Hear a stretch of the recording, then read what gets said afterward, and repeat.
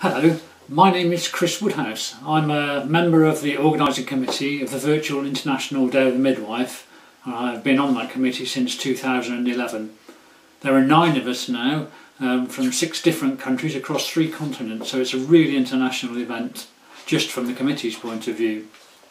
I'm not a midwife. Uh, my background is facilitating meetings and workshops and in IT, especially in the last few years, how small organisations use technology. So this is really interesting. Um, I'm part of a creative and very innovative team as we try and um, make this conference work online for people right around the world with virtually no budget at all. Um, and we do make it work and it's great fun.